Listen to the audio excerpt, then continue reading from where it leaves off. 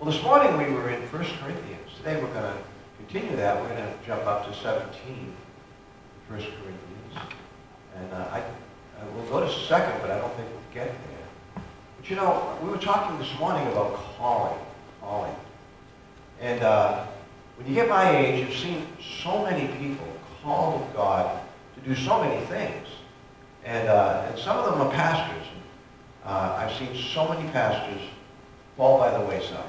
I mean, just time after time after time, uh, people. And yet, if you listen to how we were called and, uh, and how it was a personal thing between you and God, and there's absolute certainty that God has called you to a task, to see so many fall to the wayside is, is, is simply amazing and, uh, and sad.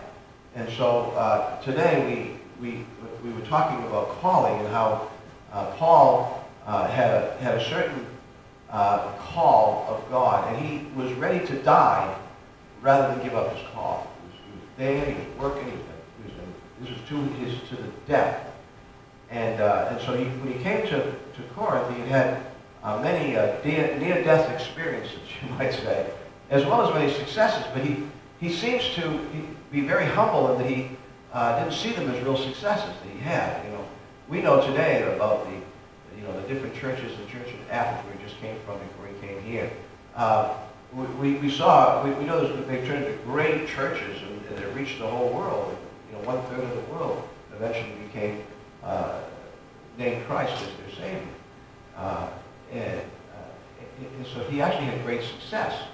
But when he came, he had a, he had a deep set calling to reach the city, and that's what we talked about this morning when we were giving um, praise for the calling that each one of us have, and the calling that we have to our families, the calling, that's the only, that's the only uh, institution that comes out of the, the, the God, you know. Uh, the, the calling that we have to our churches, the calling that we have to our countries, uh, but, the, but, the, but basically over all, all of it is God's call. God's in it. And, and, God has to be in every area of our life. Every calling that we have, we have to put God first in it. And so uh, when Paul came to, uh, to Corinth, he, he, he asked God how he's to, how he could reach these people. He didn't want another, what he thought was a, a, a failure. But, but his calling came from God. And his calling was to reach the world. You know, he, when he, he, he heard uh, from the, the other apostles the, the, the, great commission that was given, it really struck him to the heart. And, and then he was trained by Jesus Christ to go out into all the world preach the gospel. And so he went from place to place, and he had a plan. He had a plan. He was trying to, uh, to reach certain areas uh, that, were, that would, uh, would, would, then, uh, after you had Christians, would then spread the gospel to other areas. So it was, it was so we went to, went to Corinth, we remember this was, this was a great business center, world business center of the, the known world, and, uh, one of them, and uh, he just thought that this was, this was a place he had to reach. So, um, so he asked God uh, how he could reach uh, the people for Christ, and that's what we, uh, we were, uh, ended up at. But Christ sent me not to baptize, but to preach the gospel, not with wisdom of words, lest the cross of Christ should be made of none effect. And that verse right there is, is, is a wonderful verse. Um, it, it, see, Paul was, was gifted, and he was gifted by God to have a, a great, uh, he was very elo eloquent. So he could wax elo eloquent and just amaze the people out there. Um, but he wouldn't get his message across because only one message. He might get is some other message across, but not the one he wanted. He had to make sure that the message he got across was, the, was just that, the cross, okay? He had to always preach the cross, uh, the gospel, not with wisdom of words. That's what he means by not just waxing eloquent and just spending, you know, keeping everybody with their mouths agape here listening to him. That wasn't the purpose. He had to tell the truth, and he had to tell it uh, basic and true, right, right to the heart. Uh, and so, lest the cross of Christ should be made of none effect. And, and, and of course, um, it, the, the, the, primary mission of the church is to preach the, the cross. And the cross can be emptied of its power. That's what it says in verse 17b. And if you think about it, how would you empty the, the cross of its power? And when I read that, it, it just, to me, it's, it's just like, it's not, it's not possible. How could, how could the cross lose its power? but the cross can lose its power by the walk of the person. If the person bringing the, the, the message, and that could be any of us, if we don't have a walk that is worthy, uh, then the cross loses its power. The people that don't listen to them, they, they just, they just walk away shaking their head.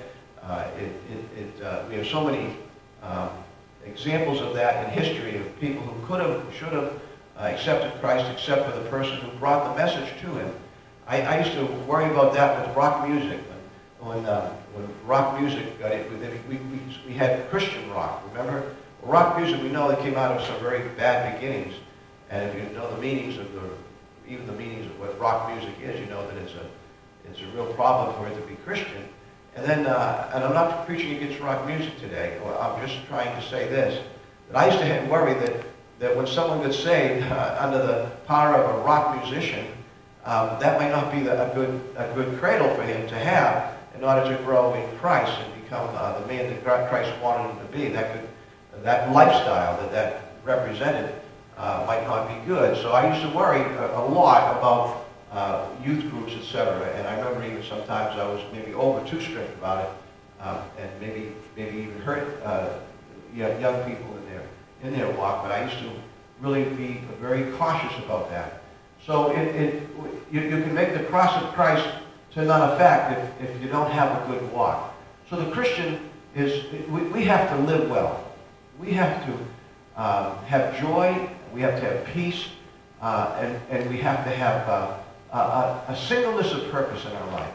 And over and above everything, it, it has to be the gospel of Jesus Christ. So the one thing that should make you the happiest person in the whole world is when your children receive Jesus Christ as their Savior. Uh, the second thing that should make you the happiest person in the world is when somebody else's children receives Jesus Christ as their Savior. And then when anybody receives Jesus Christ as their Savior, that should make you extremely... What you just came in on tonight and said, how many accepted Christ tonight? Six. And these are elderly people. These aren't children, but these are people that are heading for the abyss, you know, and, uh, and receive Jesus Christ as their Savior, and now they have a, a, a, relationship with Christ. And it has to grow, of course, but it's not going to be, they, they might not have time to make grow all that much, and you might not see as much change as you'd like to see in an older person, but you'll see change in them nonetheless. So, um, so the, the cross of Christ should be made and preached uh, uh, with, uh, with zeal. For the preacher of the cross is to them that perish foolishness. So um, that's, that, that's, a, that's a bit of a problem. Uh, uh, the the uh, men are placed into one of two categories here, uh, perishing or being saved. And that's what it comes down to. A man goes through life having one of these two experiences. One is he's either perishing, moving ever downward toward the grave, or he's being saved, moving ever upward toward eternal life. In the Greek, both words are, are continuous action. That is, a man is perishing or is being saved, one or the other. The words are not static. A man is, it, is not sitting still. He is, he's one or the other. Um, he's, he's either being gripped by the by the flesh and being conditioned to accept a perishing, dying world, or he is ever being saved, more and more being free to walk righteously and godly in this present world. The man who is saved is being conditioned to break loose from a perishing, dying world and to look for the glorious appearing of the new world. So there's, there's a world of difference between, between the one that's perishing, a lost person, and a person uh, that, is, that is saved. That's what, that's what Paul is, is to go in. He has to go in to, uh, to a room full of, of perishing people, and some of them are going to walk out saved, knowing that they're going to go to heaven. Now, we have uh, different kinds of churches, even in the Southern Baptist life. We have some that are free will. I don't know if you know what free will means. Free will means that they believe they can lose their salvation. So uh, they can be they have to be saved over and over again in their life. They get saved, they, they fall, they get saved again, they get fall, they get saved again. And we have free will Baptist churches, but we have uh, you have also many denominations that are free will. I, I was raised in a free will church. That was really hard growing up, knowing that every time I sinned, you know, I would run down to, to the priest and uh, asked him to, to uh, hear my sins so he could, he could give me absolution so I could be saved again, so I wouldn't feel like I'm going to go to heaven. And that was a big thing to me.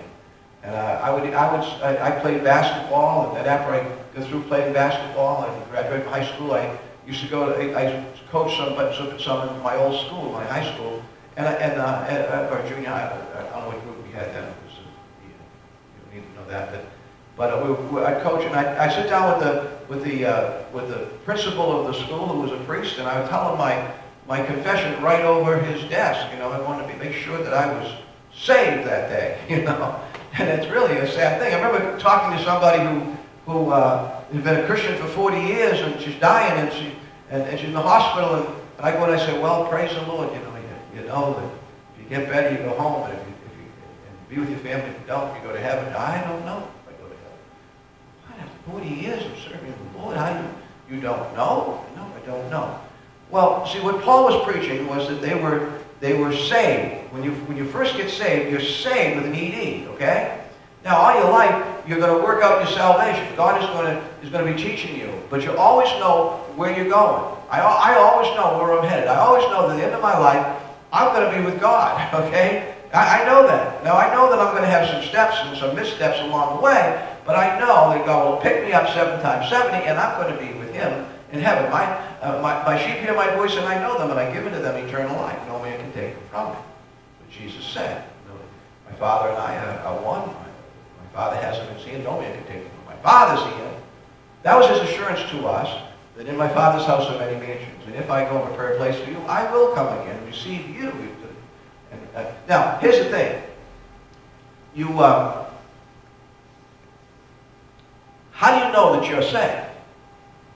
Well, the scripture says that those who are saved will, pers will persevere. Okay?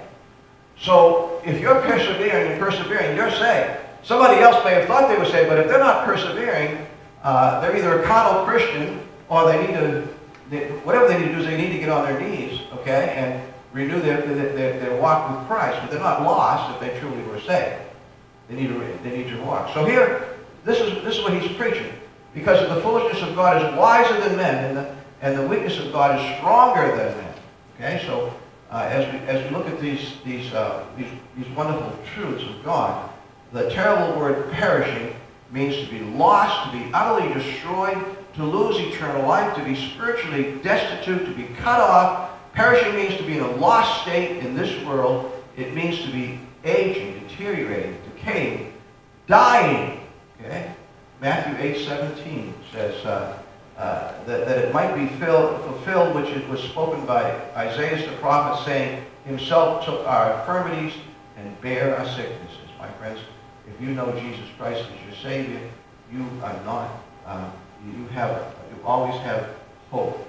Without life, meaning uh, if you're perishing, you one day uh, you're going to have no relationship with God forever. Without peace, assurance, confidence, security in God's keeping. John uh, 14, 27. See, we're, we're supposed to have assurance of, uh, uh, of God's keeping. Peace I leave with you. My peace I give unto you. Not as the world giveth, giveth I unto you. Let not your heart be troubled, neither let it be afraid. If you know Jesus Christ as your Lord and Savior, you don't have to be afraid. Those three people that was three that got saved today? Six. Six. They don't they never have to be afraid again. Because they know where they are going. They are blessed. They are blessed. And so they don't have to be without hope. Um, they're going to live forever.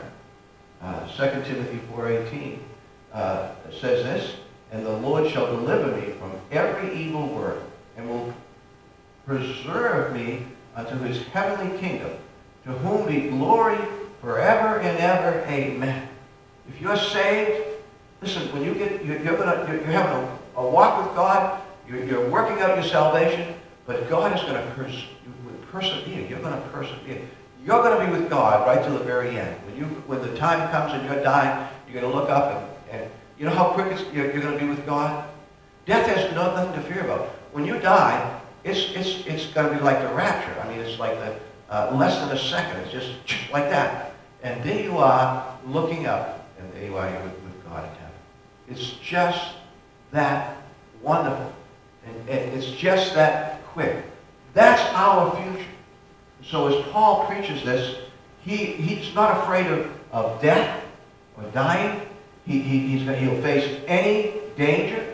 Perishing means to be in a lost state in the world to come. It means having to die, facing judgment, being condemned, suffering separation from God and from all loved ones, experiencing all that is hell. All, that's what that is. That's hell in this world. But here's the worst part. When you're perishing, when you get to the other end, you're in real hell. You just continue to suffer. And so, how hard and how strongly should we feel about winning people for Jesus Christ? See? When, when Paul faced that hostile crowd, and they were hostile. I mean, they eventually, we saw it this morning, that they took Paul and they, and they, and they dragged him before the judge. And when the judge set him free, what did they do? They took Sosthenes, their own leader, the Jewish leader, and they beat him up. By the way, as we saw, he, he became a believer. His whole family became a believer, got baptized. He became a preacher, by the way. You know, the Jewish leader. Can you imagine the miracle that was for Paul? To go in there, he's afraid. I'm going to. I'm going to do it. I'm going to do it. I'm going to go. Just like I've been kicked out of this city. They tried to kill me in that city. They had, they had lower me down the basket in that city. I'm going to walk into the, the, the, the, the synagogue and I'm going to preach that Jesus Christ is the Son of God. And he walked in there, and Sosthenes and all the others were, were, were, were hostile and angry. But you know, if he hadn't done that, Sosthenes and all his family would be in hell today. Think about that. But he had such assurance, such peace that God had spoken to him and that he, he was called out to do this very thing. This was his job. And he stepped out and he did it. So we too need to realize that God has called us to a task. This church, he, he, he, this, this church, when we came in here, it was abandoned. It was done. It was finished. God wasn't finished with this church. This is a preaching point. God brought me and he brought you into this place and said, stand there and preach the gospel. Go out of that neighborhood, that neighborhood, and preach the gospel. Reach out to lost people who have no hope, have no future, and tell them about the cross. Father in heaven, we thank you and praise you this day. We thank you for tonight. We pray that you would watch over us, that you would uh, uh, teach us your ways. And uh, Lord, I, I pray that, uh, that you would uh, remind us of the calling. Yes, when you, you, when you told us to go out into all the world and preach the gospel, that's the same thing you told Paul. That's what you told Peter and John and Luke. You told us all, Lord, to reach out with the gospel, the saving gospel that gives hope and peace and joy, eternal life. And give us that peace and assurance too, Lord. That's, that comes from the Holy Spirit. Give it to all of us, Lord. Comfort us. Give us peace and assurance. And uh, help us in the task that you assigned to us to reach lost and dying people, people that have no hope. Reaching out to them, we pray, uh, with your power and your strength. In Jesus' name we pray. Amen amen.